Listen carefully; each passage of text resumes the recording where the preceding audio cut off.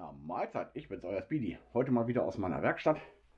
Wir haben ein kleines Problem an meinem Giant. Und zwar ist die Bremse durch. Wir sind ja im Sauerland umhergefahren. Und da bin ich äh, ja diese 15% Steigung runtergefahren über fast 4 Kilometer. Danach waren meine Bremsen so heiß und ich hatte keinen Druckpunkt mehr, dass da heute mal ein paar neue Bremsscheiben draufkommen.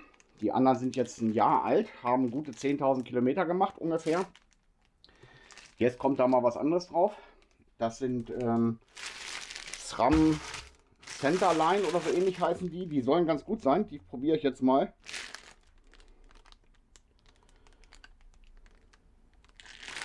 Habe ich selbstverständlich schon ausgepackt. Damit wir nicht ganz so viel Werbung machen, aber ein bisschen. Dann gibt es einmal Bremsbelege äh, von meiner Lieblingsfirma, Shimano selbstverständlich. Und dann wollen wir das Ganze mal in Gang bringen. Als weiteres habe ich mal ein Entlüftungsset gekauft. Da ist ein bisschen Öl bei. Ich weiß nicht, ob das reichen wird. Aber wir werden auch mal zumindest die vordere Bremse entlüften, weil die ist echt butterweich, das Ding. Und ich kann die bis an den Griff ranziehen und das kann so nicht richtig sein. Da kriegt man ein bisschen P, wenn man da mit 58 Klamotten den Berg runterbrettert und steht voll in der Bremse und es wird nicht langsamer. Dann ist das ziemlich uncool, auch für einen Speedy. Ich weiß, wer später bremst, ist länger schnell, aber wenn es drauf ankommt, möchte man doch mal ein bisschen anhalten. So, jetzt habe ich hier gerade mal ein bisschen Ordnung geschafft. Weil hier lag so ein bisschen alles durch die Gegend. Aber wir noch ein bisschen am Rummefummeln sind und am Rummebasteln, sah es dann hier aus wie Schlag ins Maul. Ja. Das darf da noch weg. Hier haben wir übrigens noch einen schönen Handyhalter, der für das andere Fahrrad gedacht ist. Ja, und mein Biobike ist auch wieder auf Vordermann. Und so wie es aussieht, werde ich dieses Jahr noch äh, einen zweiten Versuch starten, meine 24-Stunden-Tour zu fahren. Aber dazu erzähle ich euch später mehr. Nun gut, ich würde sagen, es äh, geht los nach dem Intro. Ja, ihr wollt ein Intro, ich habe euch in der Community gefragt und 9, wie waren das jetzt? 97 Prozent aller, aller Abstimmer haben gesagt, bitte wieder ein Intro reinmachen. Habe ich jetzt gemacht. Ich habe meine ganzen Kameras umgestellt und ich habe jetzt auch bei meinem Schnittprogramm rausgefunden, wie ich in 2,7 und 4K äh, Filme hochladen kann. Mal gucken, was sich da so in Zukunft tut. Aber wie gesagt, jetzt erstmal das Intro und dann geht's mit dem Fahrrad und den Bremsen los.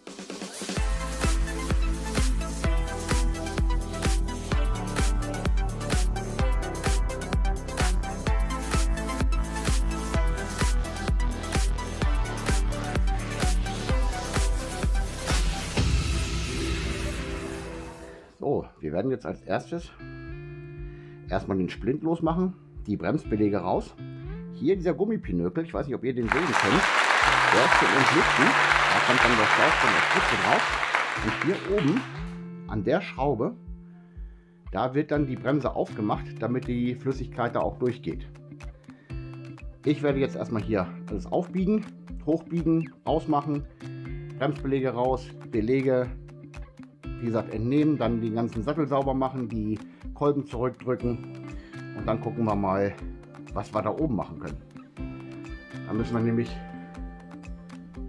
hier oben den Behälter draufsetzen, die ganze Bremse ein bisschen gerade stellen. Und dann wollen wir mal schauen, wie viel Luft da wirklich drin ist. Blind ist raus. Jetzt drücken wir die Belege einfach nach vorne. Die sollten nicht nach vorne einfach rauskommen.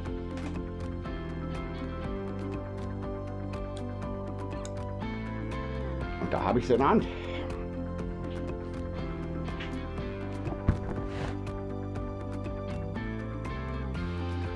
Ja, die sind nicht mehr ganz so toll. Ja, auf der Seite sogar noch schlimmer. Tja, einmal neu. Und wenn wir die Belege neu machen, bei den neuen Belegen ist auch immer diese Klammer dabei. Neu, nehmt beides neu. Die sind schon ausgefranst hier an der Seite. Da wäre zwar theoretisch gesehen noch ein bisschen was drauf, aber das ist nicht mehr schön. So, weg damit.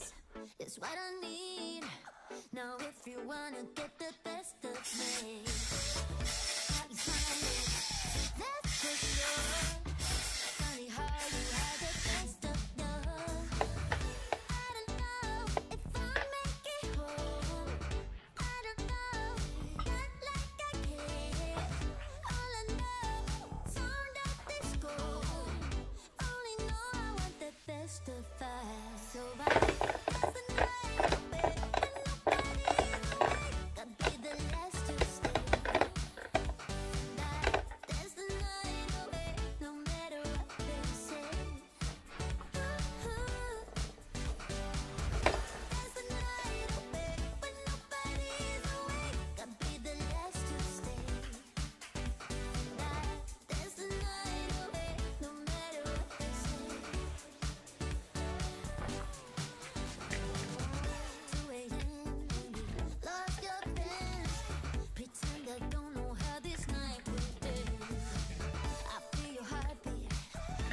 So, beide zurückgedrückt.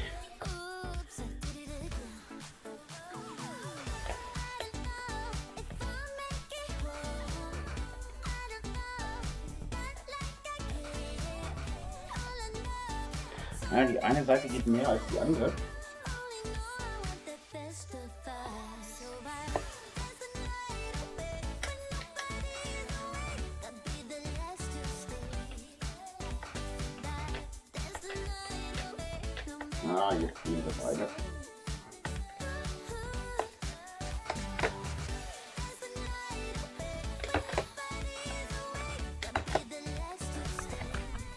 Ja, beide Bremsbacken, beide Bremszylinder gehen. Ähm, jetzt werde ich da, glaube ich, erstmal andere Belege reinstecken. Oder? Nee, mache ich nicht. Ich werde jetzt erst entlüften. So mache ich das. Ich mache mal hier auf, mal gucken, was da so drin ist.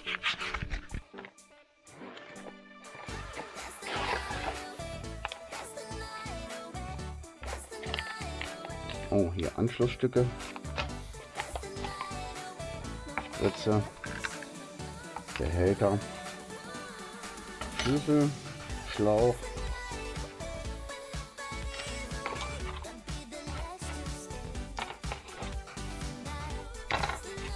Ah, dieser Pinupsi, der kommt hier rein, damit wir keine Luft ziehen nachher. Und dieses Ende wird oben auf die Bremse drauf geschraubt. Und ich glaube, ich brauche hier gar kein Adapterstück dran zu machen, weil ich äh, an der Bremse ja diesen Gummipinökel habe. Da müsste theoretisch gesehen der Schlauch drauf passen. Gucken wir mal. Und Handschuh, immer wichtig, wenn ihr an der Bremse arbeitet, an den Bremsscheiben und sowas. Zieht euch Handschuhe an. Ja, Bremse entlüftet habe ich selber so noch nicht. Aber irgendwas ist immer, ne?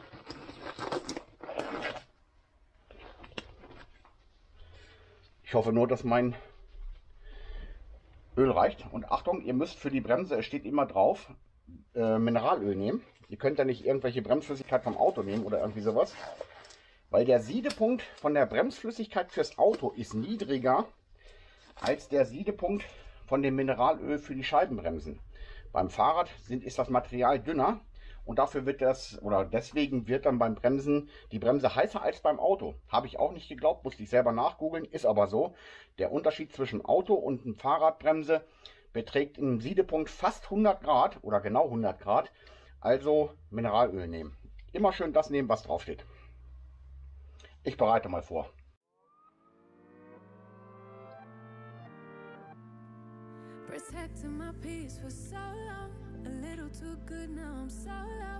Ja, ich weiß nicht, wie viel man da jetzt von nehmen muss, aber ich ziehe das erstmal hier ganz zurück.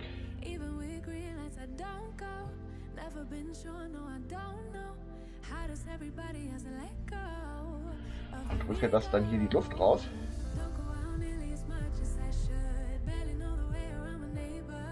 bis hier oben am Schlauch.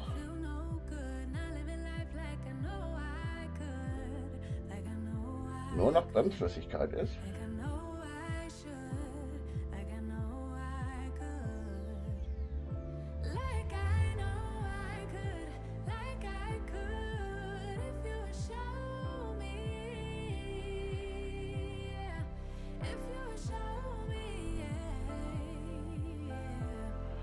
Und jetzt ist hier oben am hier ist keine Luft mehr. Jetzt stecke ich das Ganze aufs Fahrrad.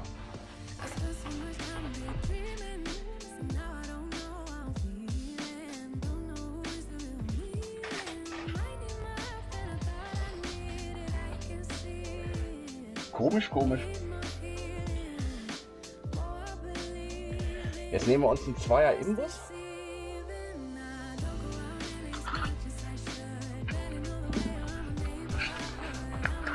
Also ich habe das da unten jetzt draufgesteckt.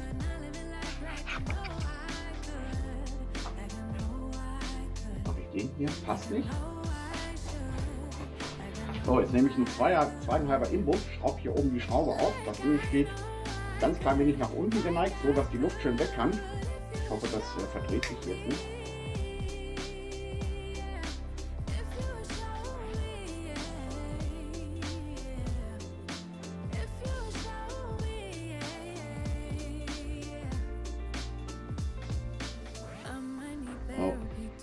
Hier ist die kleine Schraube.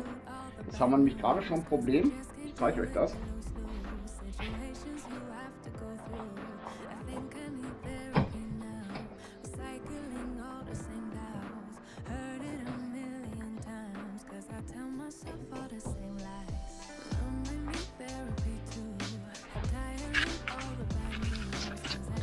Hier oben ist jetzt ein ganz kleiner Dichtring drin. Wow. Den hier, den dürfen wir auf gar keinen Fall verlieren. Ohne diesen Dichtring wird die ganze Bremse nicht mehr dicht. Und das wäre dann echt dumm. Wir werden diesen Dichtring gleich wieder auf die Schraube stecken, damit wir ihn auch bloß nicht verlieren. Da ist er jetzt drauf. Lassen wir das hier schön liegen.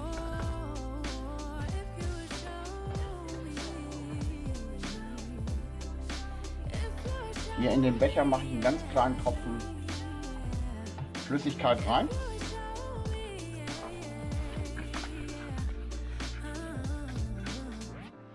Und schraube das jetzt hier vorsichtig drauf.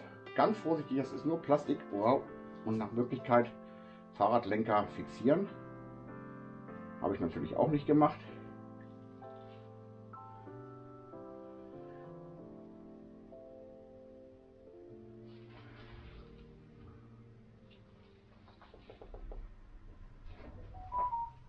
Ich muss diesen Fahrradlenker fixieren. Das geht so nicht. Das ist doof. Wo ist meine Spanngurte?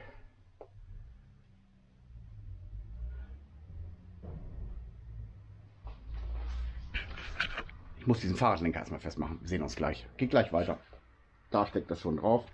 Da unten ist das Ding schon dran. Und bevor ich da unten irgendeine Schraube aufmache, werde ich meinen Fahrradlenker erstmal so festmachen, dass er hier stehen bleibt, ohne dass hier irgendwas Blödes passiert. Hätte man vorher drauf kommen können. Ey, Alter. Ich mach mal. Geile Konstruktion. Aber es tut genau das, was es soll. Der Lenker bleibt gerade. So, jetzt werde ich hier oben die Schraube aufmachen. Und dann werden wir mal gucken, ob wir da oben irgendwas rein und raus kriegen.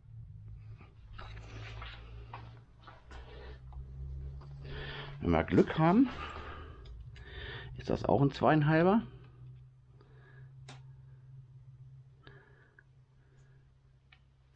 Nein. Müsste eher ein Dreier sein. Und wir kommen da echt blöd dran, weil die obere Schraube im Weg ist. Aber ich möchte die jetzt nicht unbedingt. Tja, ich muss die Schraube losmachen. Ich muss die Schraube losmachen. Geht nicht. Ja, jetzt konntet ihr das gerade nicht sehen. Ich habe jetzt hier die Schraube losgemacht, das ist ein Dreier Imbus und schon ist hier unten Luft rausgekommen. Jetzt werden wir mal ganz vorsichtig gucken, was passiert. Ah, blöd. Man sollte den Knüppel mal aufmachen. Oh, oh, da kommt ja voll fies Luft raus. Das ist ja echt übel.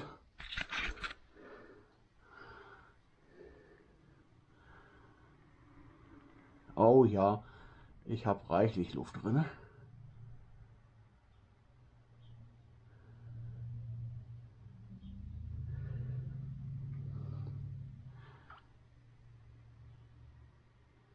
Und was für eine Brühe.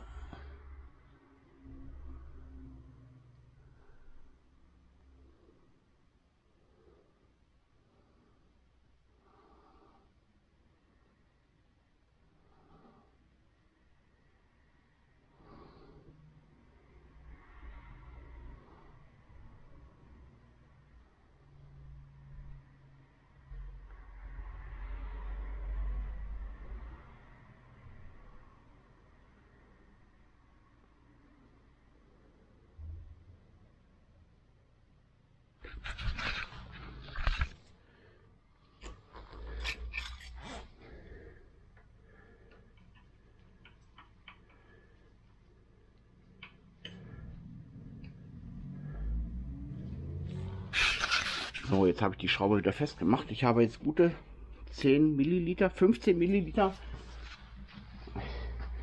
habe ich durchgehauen. Und hier oben die Farbe hat sich deutlich verändert. Jetzt werde ich hier abdrehen. Pinökel habe ich drinne.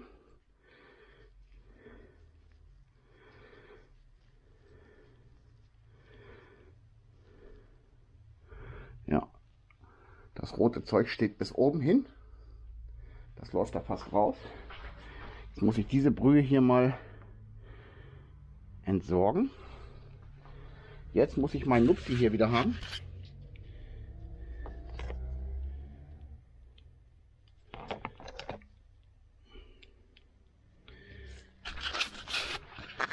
So. Der Gummidichtring ist da drauf. Oh, Alter, habe ich da drin. Da läuft es raus. Also wir sind auf jeden Fall bis oben hin mit Bremsflüssigkeit voll. Fest. Und gleich abwischen. Bremsflüssigkeit ist nicht schön, wenn man die irgendwo rumkleben und rumsiffen hat. Also wischt es gleich ab.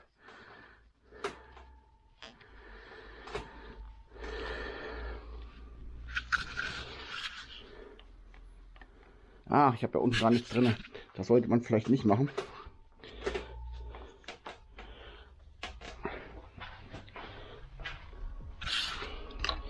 Jetzt werden wir mal unten die beiden Keile einsetzen.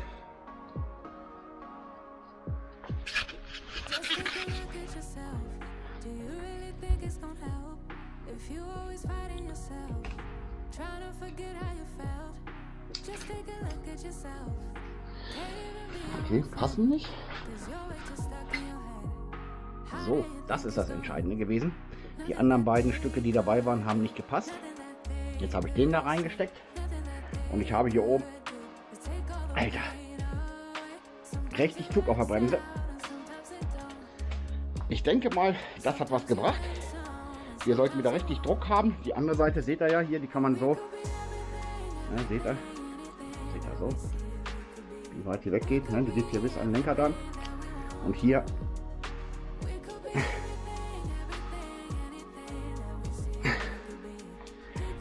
Also ich denke mal, das ist gut. Jetzt stopfen wir da mal die neuen Belege rein. Fummel ich das jetzt erst ab. Dicht ist es, hat funktioniert. Ähm, dann mache ich den Gummipinökel wieder drauf, schraube den Brems, ähm, ähm, den, äh, die Bremse da wieder fest, die Bremszange und dann, äh, wie gesagt, Belege rein, neue Scheibe drauf und dann probieren wir es mal. Was für ein Terror. Noch nie gemacht. Mal gucken, ob es funktioniert hat. Sage ich euch dann hinterher.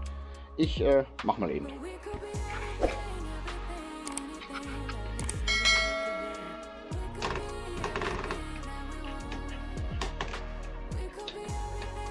Dann fällt er lieber raus.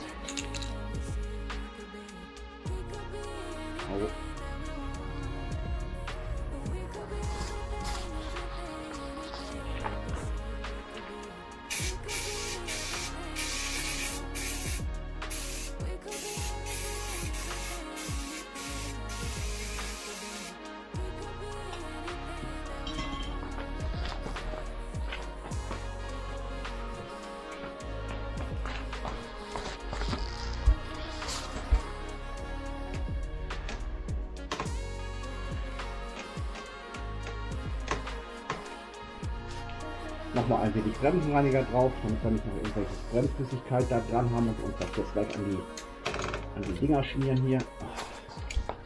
Und auseinandergefallen.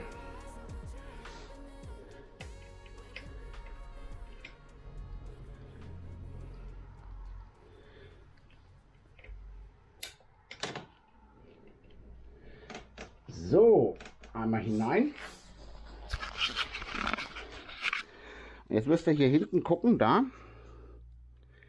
dass auch wirklich der Stift durch alle drei Teile durchgeht.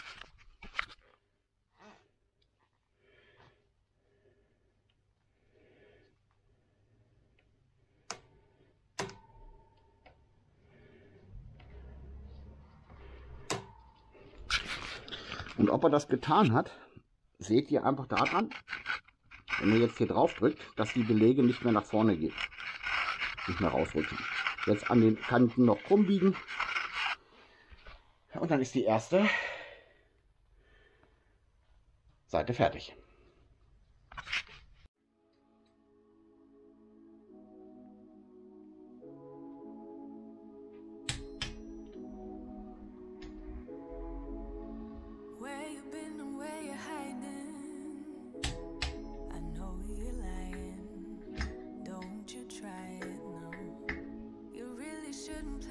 fire.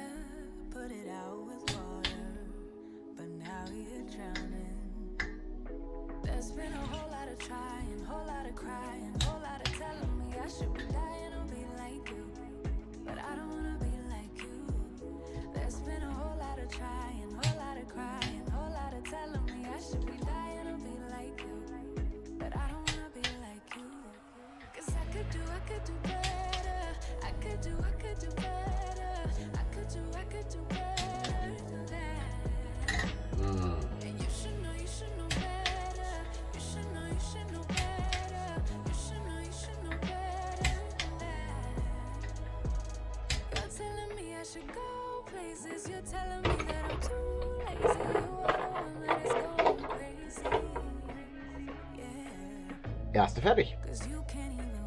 Jetzt noch einmal sauber machen mit Bremsenreiniger und dann baue ich es ein.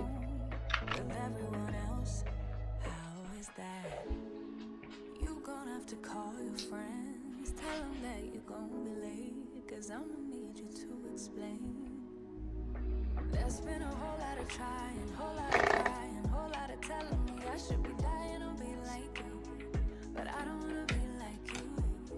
There's been a whole lot of trying, whole lot of crying, whole lot of telling me I should be dying to be like you. But I don't wanna be like you. Cause I could do, I could do better. I could do, I could do better. I could do, I could do better. Und beide Schrauben losgemacht. Jetzt ist der Sattel hier frei beweglich. Jetzt werde ich oben bremsen, werde oben fixieren und dann schrauben wir uns hier wieder fest. Das sollte Bremse ausgerichtet sein. Alter, ist die stramm. Geil.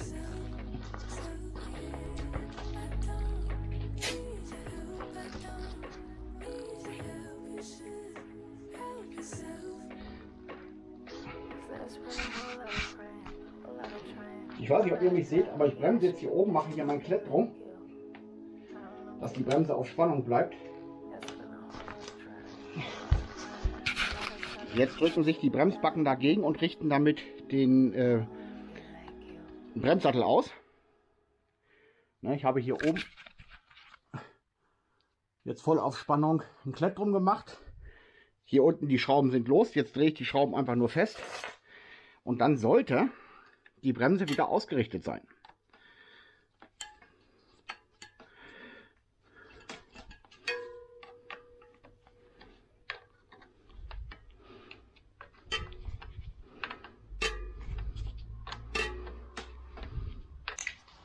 Das soll es gewesen sein.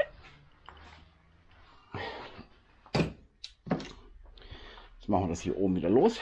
Aber ich bin jetzt hier richtig viel Platz. Ich kann hier noch voll den Daumen durchstecken und die ist voll auf Zug.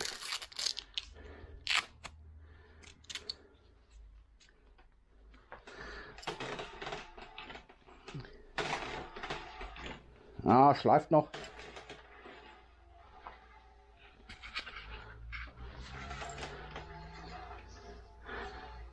Klingt nicht so witzig. Warum ist das so?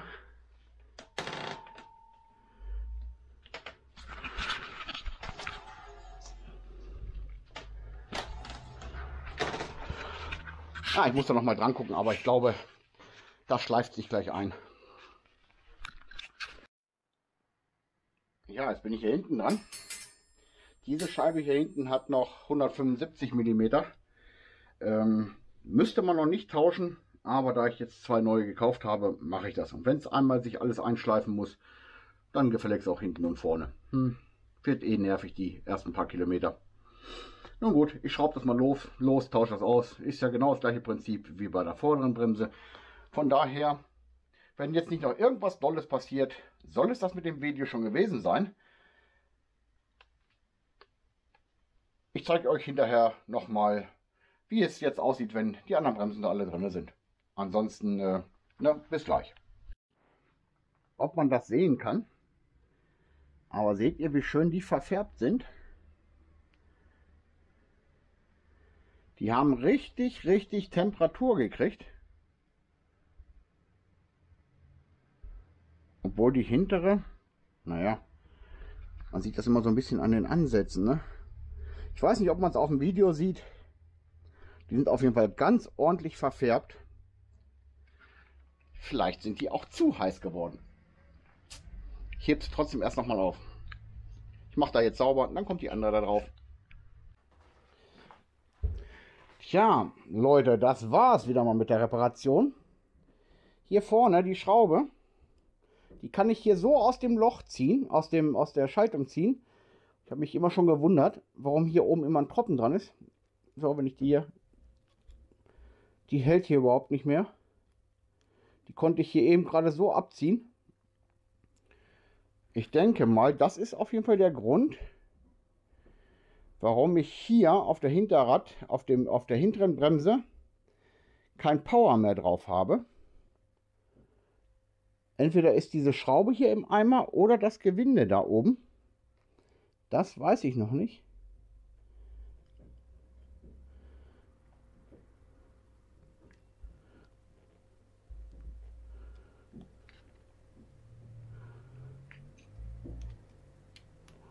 Also die macht hier gar nichts mehr. Da brauche ich gar nicht mit dem Schlüssel dran versuchen, irgendwas festzuschrauben. Können wir mal, aber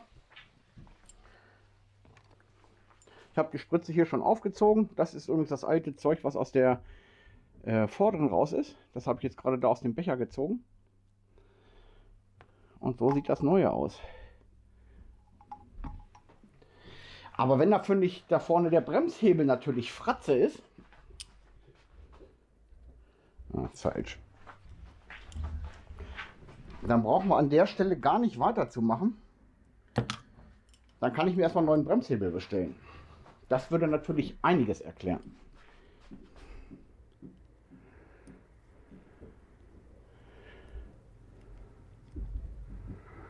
Nee, da macht, tut sich gar nichts mehr.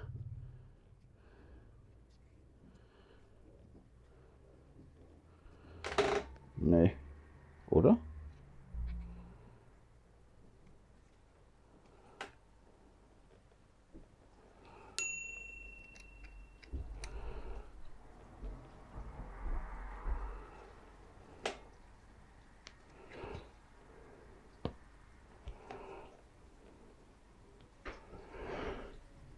Hm. Ganz, ganz komisch.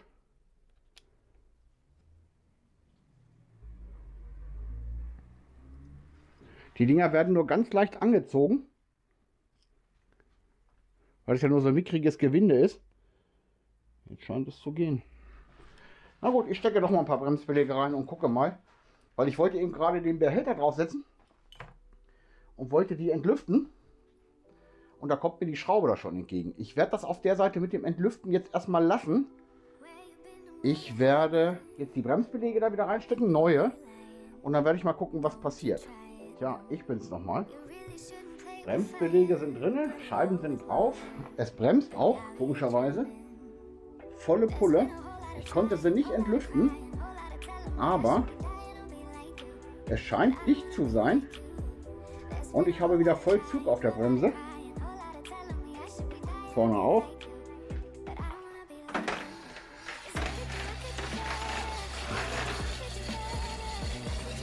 Es schleift natürlich.